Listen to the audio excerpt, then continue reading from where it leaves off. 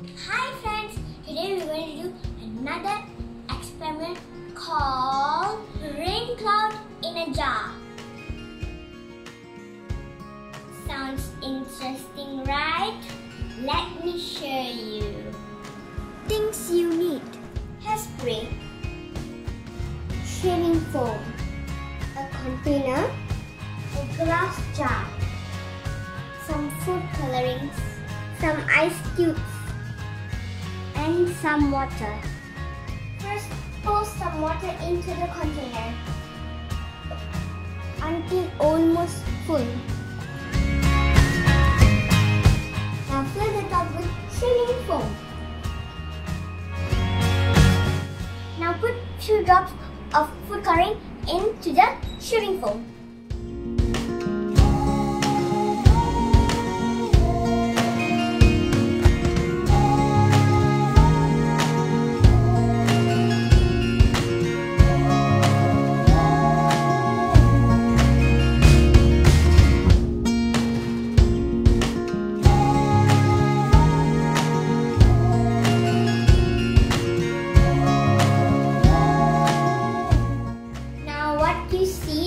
Similar to how cloud and rain works.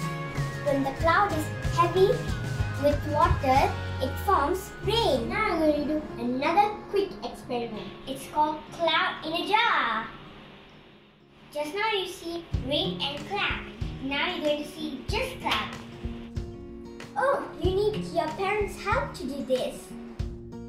Get your parents' help to pour the hot water into the glass jar.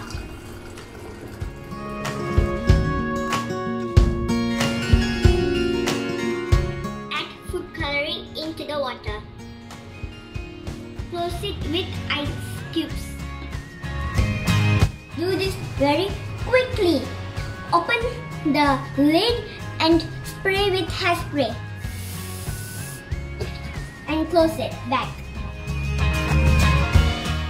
Now you can see forming some cloud. Now open the lid.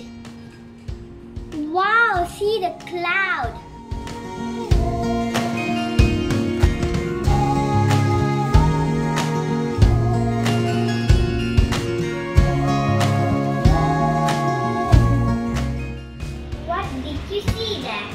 The hot water mixed with cold air, It's called condensation. When you spray the hairspray, it traps the air inside the jar. Now it's your time to do. Thanks for watching.